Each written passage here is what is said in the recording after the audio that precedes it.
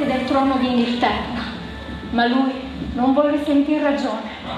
Così, fatto ritorno a Londra, poté notare quasi un'area di giubilo attorno a quella che ormai mi si configurava come una dichiarata guerra contro la Normandia e il suo signore. Ondata dopo ondata si potevano notare enormi destrieri che portavano variari dal capo alla vita e preceduti da una massa di soldati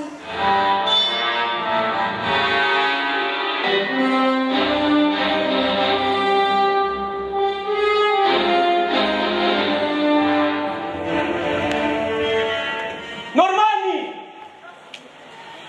Innanzi a noi l'intero esercito, i nemici sassoni, pronto a dar battaglia. A schierarsi a protezione dei loro signori.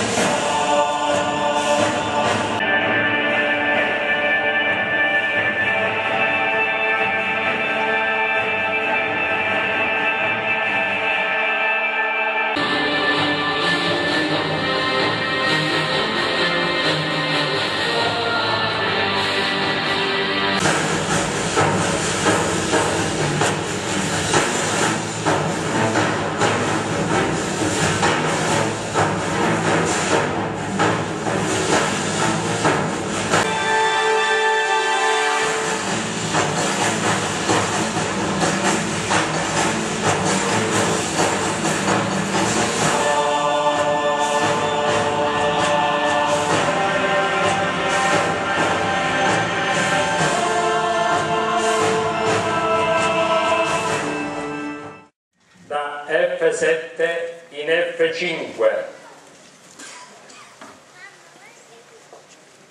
Fante 4 da D2 in D4. Fante 4 da D7 in D5 Eric di Lancaster da G8 in F6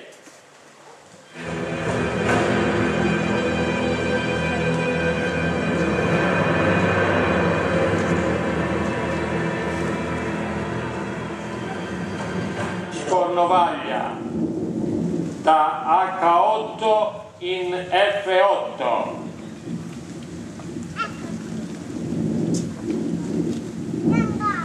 Aroldo II d'Inghilterra da E8 in G8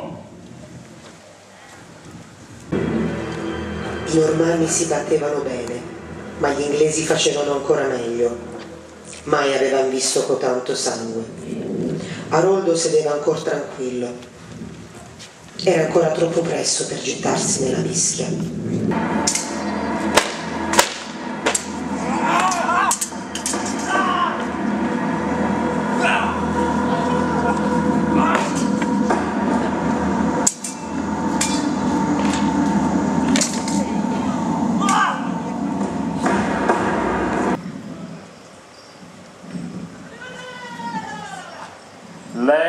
Wynn del Wessex da A6 in C5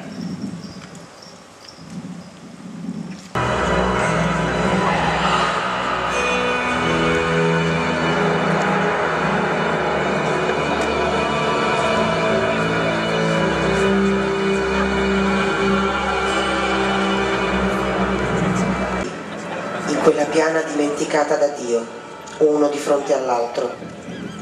Più e più volte la spada normanna colpì lo scudo sassone, ma questi non cedeva e con forza rispondeva all'invasore. Molte volte la spada fu spezzata.